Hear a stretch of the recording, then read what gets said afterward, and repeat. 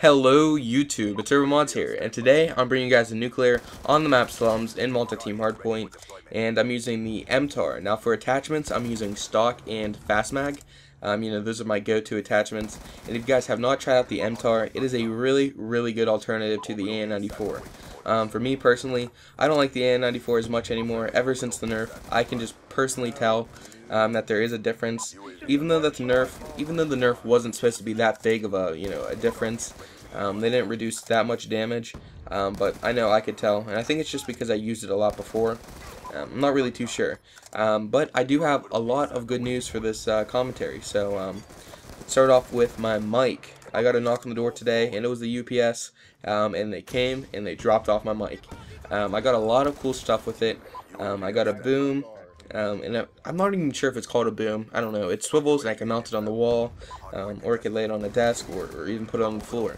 Um, and it reduces a lot of background noise. You know, uh, my old mic used to sit on my desk, and if I ever like move my keyboard or, or move my mouse, it would rattle um, and, could, and, the mic would pick it up, and then I'd have to remove it um, in some kind of like editing program.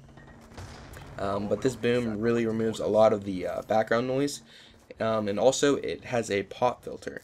Um, now, some of you may have noticed on my um, my old mic or some some of my old commentaries, whenever I'd say like perks or anything like that, it would have a really loud like annoying pop.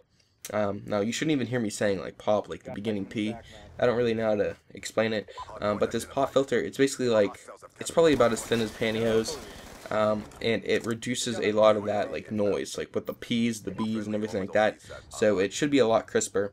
Um, let me know if you guys can tell a difference. Um, but I even have some more good news. Um, the league play season ended just a few days ago. Um, I didn't make it to Master Rank 1 in my solo season, unfortunately. Um, due to the fact that I had a tryhard in my ladder. Like literally, this this kid played non-stop. Within the first week of the season, he had like 34,000 points. So there's no point in even trying. Um, but I do have some good news. Like I said, in two days a new season starts, and I plan on live streaming it, all of it, um, or at least the first day. Um, I don't want to put an exact time limit on it because I don't want to let you guys down if I don't follow through with like a full 24 hour mega live stream or anything like that. Um, but it should be pretty long and hopefully a lot of guys come out and check it out.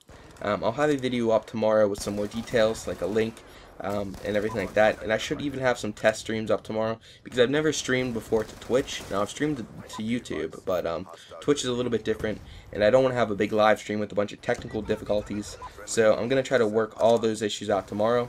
Um, and you know, most of this is just due to the inspiration that my mic gave me. I know it might sound weird, um, but opening this up, using it, I just love it so much, and it makes it just makes my life so much easier for making videos. Um, that kind of sounds cheesy, but whatever. Uh, I don't know. It just gives me like that drive to make videos. Um, I was stuck in a rut, a little bit of a rut. Um, I didn't really want to upload some days, um, and it, it would come through in my commentaries. Like I wasn't as excited as I should be. Um, but this mic, it just, I don't know, it just revamped me and my attitude towards making videos. And hopefully that comes through my live stream.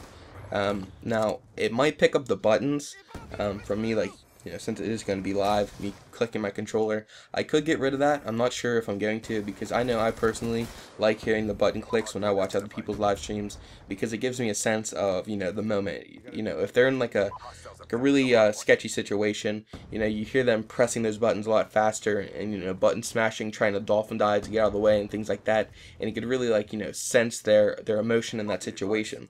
Um, so, like I said, I should have a video up tomorrow um, regarding all that. You know, all the stream information. So, if you guys want to come check that out, um, definitely just stay tuned to my channel um, for that update video.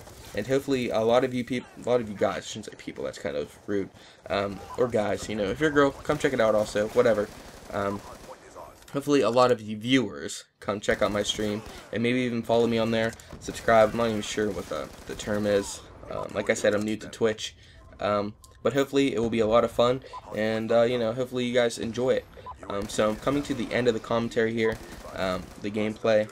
And uh, I hope you guys enjoy the video slash commentary. I kind of just messed up my outro, but you know, just do do all the above. Leave a like, sub, favorite, comment. I don't know. Send it to your friends. Send it on your Facebook. Send it to your mom. Send it to your grandma. Whatever. Bye.